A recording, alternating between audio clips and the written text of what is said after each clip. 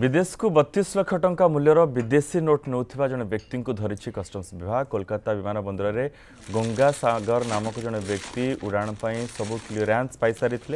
गत काल रात एगारटा पंचावन में स्पाइस जेट्र फ्लैट थी तेज गुईंदा रिपोर्ट पाइबाप गंगा सागर बैग चेक कर जो बाहरी कि गुटखा पैकेट मलमाल गुटखा जरी को चिरीवर से बाहरी खड़खड़िया डलार नोट जार मूल्य